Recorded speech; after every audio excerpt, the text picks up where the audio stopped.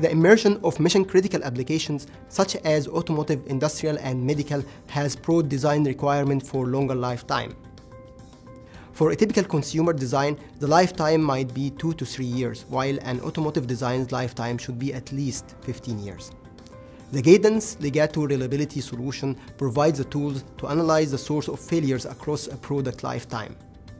Its advanced aging analysis lets designers more accurately predict when devices will wear out and why they wear out, allowing designers to achieve their design targets for extended lifetime without over-designing every transistor, which result in wasted die area and increased product cost.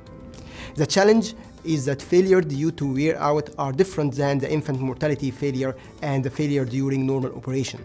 Failures due to wear out can't be reduced or eliminated. Eventually, every device will wear out.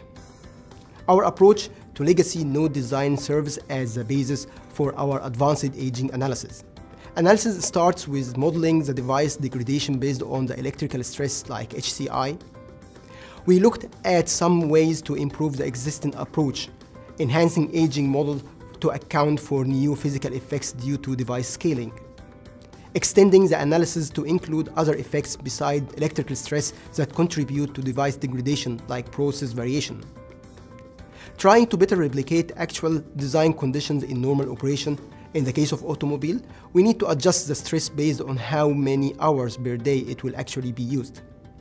Cadence has been the leader in modeling of device aging for many years with our AgeMOS model as a golden standard of aging models. With our Legato reliability solution, we collaborate with industry and academia to develop a new model for device aging of advanced node transistors. The new advanced node aging model include a more physical model of hot carrier injection, an enhancement model for bias temperature instability recovery, and several other updates.